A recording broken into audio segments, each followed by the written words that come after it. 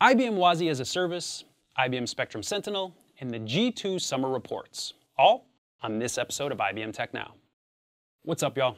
My name is Ian, and I am back to bring you the latest and greatest news and announcements about IBM technology. Back in February, IBM announced plans to deliver a new era of modernization, and I'm excited to announce that we are delivering on that promise this week with the general availability of IBM Wazi as a service.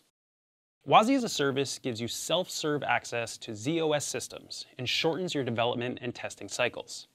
You can now integrate a secure toolchain for continuous delivery to enhance your developer productivity. And with increased efficiency in code development and testing, you can reduce time to market. Wazi as a service allows you to spin up a built-for-purpose z/OS dev and test virtual server in six minutes or less.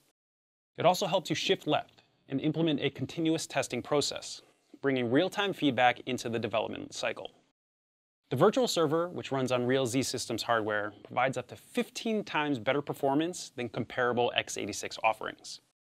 With Wazi as a service, you can take advantage of the full value of IBM Z Systems and utilize the agility of IBM Cloud, transforming the software development lifecycle process for the z/OS applications.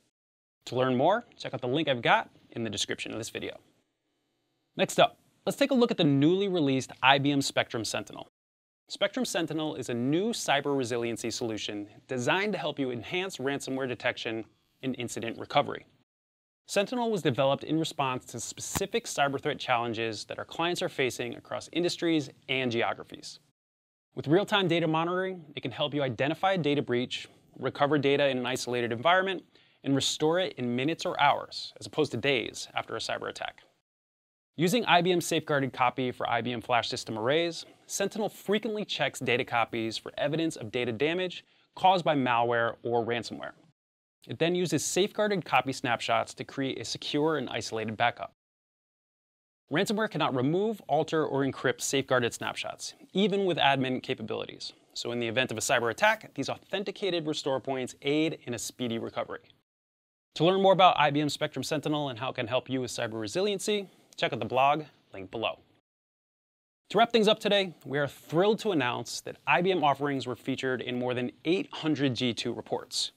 This translated to over 200 different leadership awards across various categories in G2's release of the 2022 Summer Reports. These reports rank the world's best software based on authentic, timely reviews from real users, breaking down the latest market trends in technology and software. Leaders are determined based on high levels of customer satisfaction and their likeliness to recommend ratings. Client satisfaction is at the heart of IBM's values, so we're delighted that we hold the number one ranking in 54 different reports. And we rank in the top three in an additional 128 reports. To read the feedback and learn more about the G2 Summer Reports, hit the link below. Thanks so much for joining me today for this episode of IBM Tech Now.